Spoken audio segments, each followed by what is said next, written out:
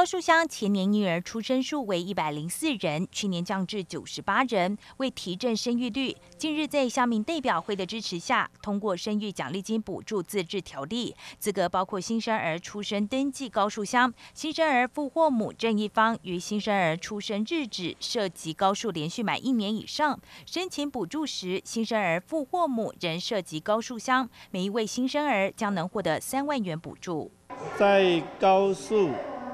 住有一年以上的民众生育生小孩就有补助，第一胎三万元，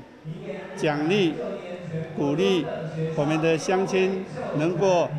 哎多多生小孩，因为现在的。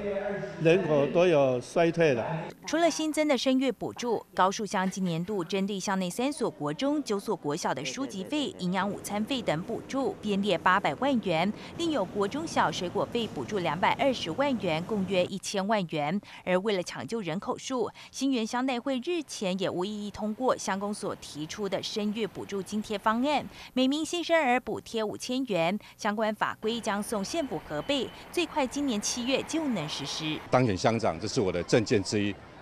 就是要有生育津贴来鼓励我们乡的青年朋友，哎，鼓励他生育，来增加我们县乡人口，不然县乡一直在